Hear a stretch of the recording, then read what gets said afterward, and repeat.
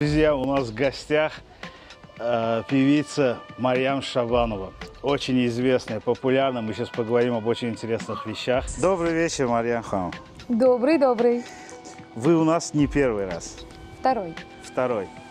Что-то изменилось, что понравилось? что Колоссальные понравилось? изменения, грандиозно, я бы сказала. Потому что когда впервые мы посетили э, это место, э, здесь был, по-моему, один домик, и строился второй. И, конечно, для меня колоссальное впечатление произвело то, что вы смогли сделать за полтора года. Что мне больше всего понравилось, у меня нет э, какого-то норми- нормированного рабочего графика, и расположение таковое, что можно отдыхать и при этом, ну, не бросать рабочих дел. То есть можно утром поехать, сделать какие-то дела, э, участвовать в каких-то съемках, поехать порепетировать, поехать в студию, потом вернуться и к этому времени вода в бассейне уже то, что надо. Отлично. Детям тоже очень нравится. А вот ощущение природы, да, вот мы смогли это передать. Обычно там как бывает, мы когда вот задумывали проект, именно в этом была вся фишка, да. Обычно как бывает, там собираемся поехать в район, да, там несколько часов надо ехать.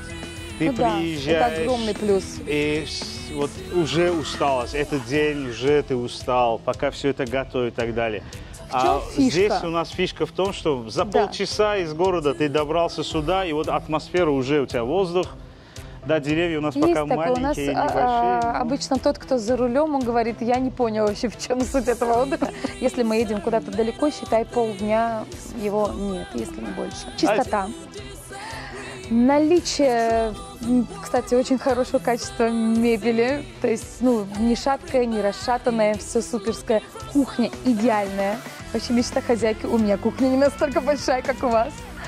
А, шкафы, посуда. То есть э, не нужно с собой тащить огромное количество всего, что мы обычно привыкли с собой брать при выезде куда-то.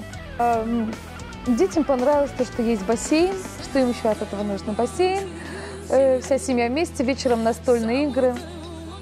Конечно, Класс. классно. Оказывается, можно было не готовить. Можно было Рустама не грузить, да, дать отдохнуть. Не, ну, и можно именно хочется отдохнуть в первую очередь, а не заморачиваться с большим количеством готовки, то параллельно заказать можно долму, плов. М, Рустам, как тебе цены? Очень неплохие цены, честно говоря. И очень, э, очень широкое меню. Прям, Слушай, Я говорю, вкусно. там реально хорошее меню. смотри, вот все, что хочешь. И самое главное, очень вкусное. Даже Попробуйте. А. Ну, даже кинган есть. Здесь кутабы есть, блинчики. А- Даже, даже у них есть кутабы с этим, как с тыквой, прикинь. У меня слушай, 60 копеек. Даже не надо. Да. Прикольно. У меня вопрос. То есть звонить по этим номерам и говорить, Да? что мы остаемся... Да, Все, он сразу доставит. Клёво. Расскажите нам, Мария расскажите, вот, а, а почему вы решили стать э, певицей, да? Как это получилось? Я всегда говорю, что э, у некоторых людей есть возможность выбирать профессию, а у некоторых, как у меня, такой возможности не было. Профессия выбрала меня. Я с детства очень э, творческим ребенком была. Я неистово с, с огромной любовью рисовала. А Рисовала, рисовала, и все знакомые, и сама мама, и все семейные друзья, они все говорили, ой, из нее вырастет художница. Меня а, отдали в школу рисования. Я рисовала с большим таким, э, с большой страстью. А потом, когда мне было 7 лет, я запела. Семь лет.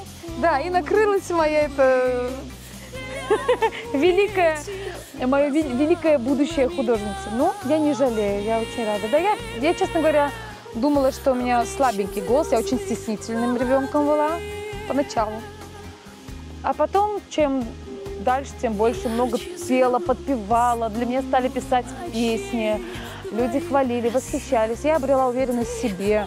Э, И мне это очень нравится. Я, в принципе, пришла в этот мир не за славой, не за популярностью и не за деньгами. Чистая любовь. Кстати, я вот в прошлом году была в Испании.